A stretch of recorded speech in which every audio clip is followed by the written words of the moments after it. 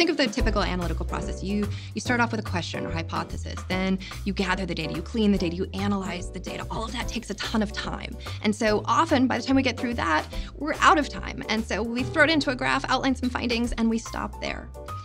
The challenge in stopping there is that graph is the only part of the entire process that your audience sees. Think about the small changes you can make that won't take a lot of time and decluttering, focusing attention with color, using words wisely. These are things that don't take long. They take a little bit of thought and knowing your tools well enough. But when you take a little time to do this, what you'll see is over time, you'll build both your confidence in your ability to make changes and, and have that be an effective thing. You'll also build your credibility with those around you so that you'll have more flexibility to make broader changes in the future if that's something that you want to do.